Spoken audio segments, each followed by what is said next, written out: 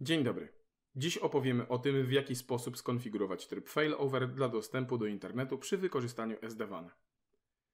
Na potrzeby naszego scenariusza przyjmiemy założenie, że nasze dane wysyłamy dowolnym łączem, które spełnia wymagania co do jakości połączenia.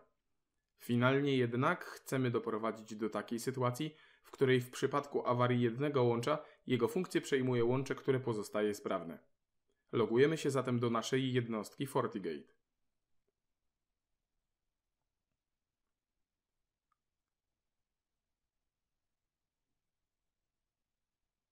Przechodzimy do sekcji Network SD-WAN, gdzie wskazujemy zakładkę Performance SLAS. Musimy bowiem określić metodę, która sprawdzi parametry naszego łącza takie jak utrata, opóźnienie czy zakłócenia w transmisji pakietów. Klikamy Create New. Określamy metodę pomiaru. Wykorzystamy do tego celu nową metodę, jaką jest pomiar pasywny. Metoda ta jest dostępna w oprogramowaniu FortiOS od wersji 7.0 i polega na wykorzystaniu do wykonania pomiaru informacji o sesji przechwyconych przez regułę zapory, dla której została włączona opcja Passive Health Check. Korzystanie z pasywnego pomiaru ogranicza ilość wymaganej konfiguracji i zmniejsza ruch, który jest generowany w przypadku wykonywania pomiaru aktywnego. Dodatkowo zwracane wyniki mogą być bardziej dokładne. Włączamy opcję SLA Target i ustawiamy poszczególne wartości według własnych potrzeb. My przyjmiemy latencji na poziomie 50 ms, jitter 30 ms i packet lost 1%.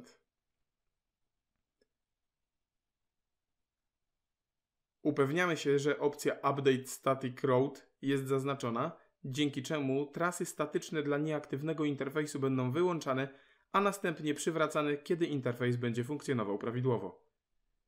Na koniec nadamy nazwę dla naszego pomiaru, np. pomiar pasywny i zapiszemy wprowadzone zmiany.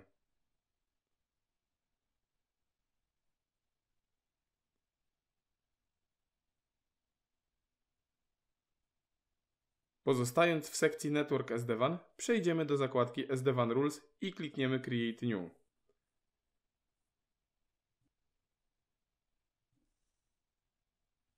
Należy teraz utworzyć regułę, która na podstawie zdefiniowanej przed chwilą metody weryfikacji parametrów łącza będzie w stanie określić, które z nich wykorzystamy do przesyłania danych.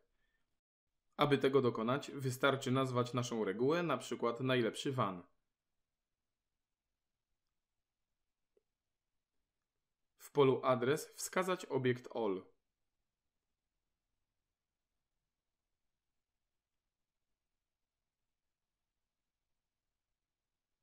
Następnie w sekcji Outgoing Interfaces pozostawić zaznaczone pole Best Quality.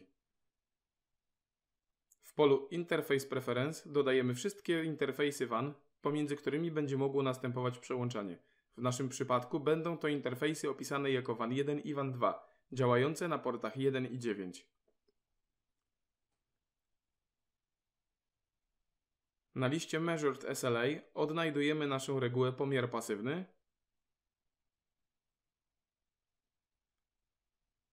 a z listy Quality Criteria wybieramy parametr, który będzie miał decydujący wpływ na wybór łącza.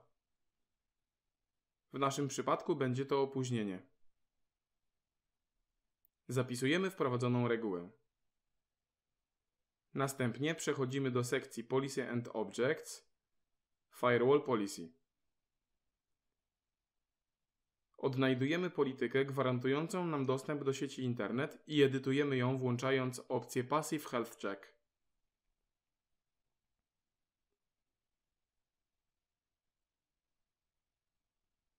Po zapisaniu zmian wracamy do sekcji Network SD-WAN, aby zaobserwować jak rozkłada się ruch na poszczególnych łączach.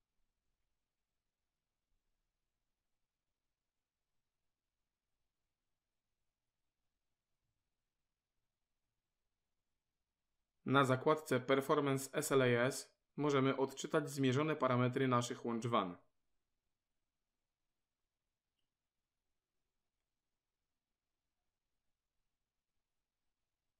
A na zakładce SD WAN Rules sprawdzimy, które łącze WAN zostało wybrane jako preferowane, uwzględniając oczywiście skonfigurowane wcześniej parametry pomiaru. Możemy także przeprowadzić test, który pokaże nam, czy nie utracimy połączenia w wyniku awarii jednego z łącz. W tym celu uruchamiamy polecenie ping na hoście klienckim.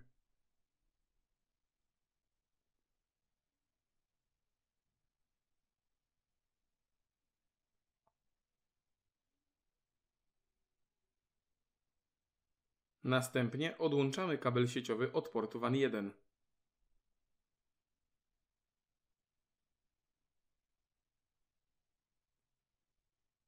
Jak widzimy, samo przełączenie na drugie łącze odbywa się prawie niezauważalnie dla klienta końcowego.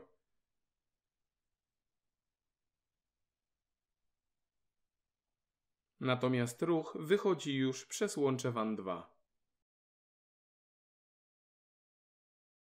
Chcesz zdobyć wiedzę na temat rozwiązań Fortinet? Sprawdź bezpłatne poradniki. Subskrybuj kanał i bądź na bieżąco.